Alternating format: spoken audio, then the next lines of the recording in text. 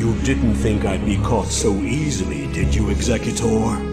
You have only destroyed a phantom. You and the traitor Tassadar are to cease your resistance and surrender yourselves to the judgment of the Conclave. Though I fear you would doom us all, Aldaris, I surrender myself to the Conclave.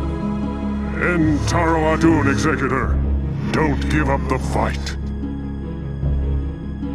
By the gods, this is ill news indeed. Why would Aldaris betray us so? Entaro Adun, Executor. All seems lost now, but still we must fight on. We must find Tassadar and secure his release from the Judicator before they can execute him for treason. Executor, there are Zerg on this wretched world. They must have taken control of Tassadar. Our forces shall engage the primary Zerg hive clusters in an attempt to weaken their defenses. Once their numbers have thinned out, Zeratul and his companions can infiltrate the clusters. We shall evacuate you, Tassadar. We will do what we can. I hunger for battle.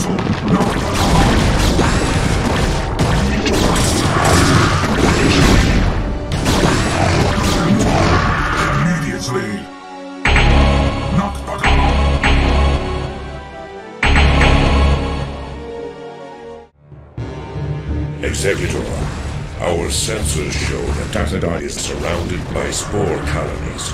We will deploy our Corsairs to compensate for their defenses.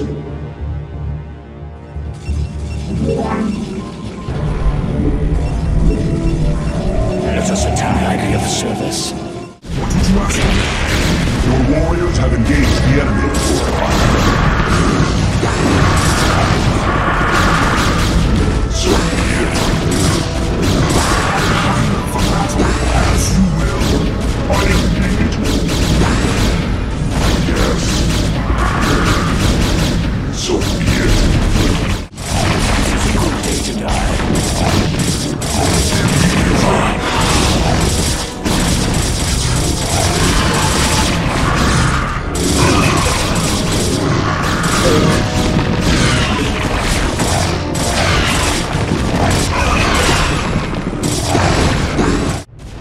is a Protoss in this cell.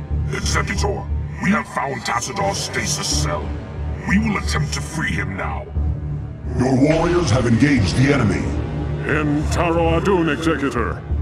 My gratitude to you for having secured my release knows no bounds. By all the gods, we may win yet. Ah, It is Tassadar. Greetings, Tassadar. I am overjoyed to see you return home in this dark hour. The Zerg have redoubled their efforts, and it seems... Fenix. It can't be. The Executor told me of how you fell before the Zerg. How is it that you live and breathe? well, after my unfortunate defeat, my ruined body was recovered by our brethren. I now reside within the cold robotic shell of a Dragoon. Old friend, would that this never came to pass. Nonsense! There is no shame in defeat, so long as the spirit is unconquered, and I am still able to serve Aiur to a degree. But enough of this. We should destroy Aldaris Executor.